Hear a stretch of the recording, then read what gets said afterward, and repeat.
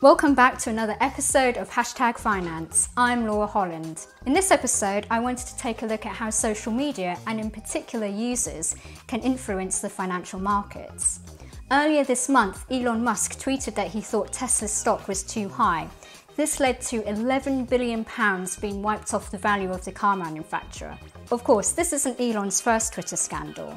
Tweets back in 2018 led to a 20 million fine and him having to have his tweets pre-screened by lawyers. Something which he admits did not happen on the 1st of May.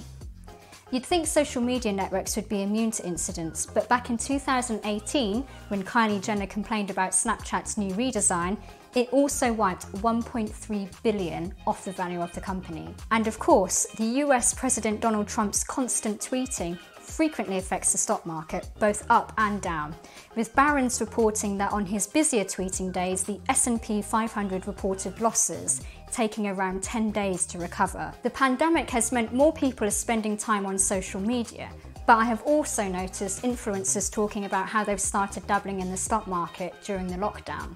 So it'll be interesting to see how entwined social media and the financial markets will become. Until next time, stay safe.